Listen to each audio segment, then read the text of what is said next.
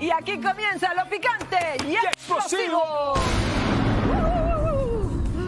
Y hablando de explosivo, muchachos, las redes sociales se encendieron hoy con una fotografía donde aparece Yailin, la más viral, con heridas en el rostro. Obviamente, inmediatamente la cantante salió a aclarar qué fue lo que sucedió. Escuchemos.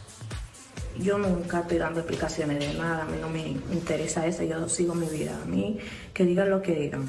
El caso es, si yo no quiero trabajar con una persona, o sea, no es obligado trabajar contigo, ¿me entiendes? Yo pasé un accidente con Dani, o sea, fue de discoteca, salimos de discoteca, pero como eso no salió a la luz y todo fue algo chilling para no preocupar, yo no dije nada, ¿me entiendes?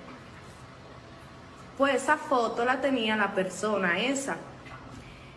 Esa persona se ha puesto a escribirle a todo el mundo que se le debe, que no se le debe. Deja de estar diciendo que se, no te han pagado desde no sé cuánto, de que hace tres meses, no sé qué. Mamita, aquí está la fecha de todo. O sea, si no se quiere trabajar contigo, ya. Sube eso como paseme la maldad. Si ya yo no quiero trabajar contigo, supéralo, mija, ya. Bueno, aquí lo que ella comenta es que fue un accidente que tuvo cuando estaba con Tekashi. De, aún así, aunque estábamos chilling, no pasó nada, pues sí se le ve en la fotografía, exacto, así como, como chilling. que fue una caída, fue una caída de cara.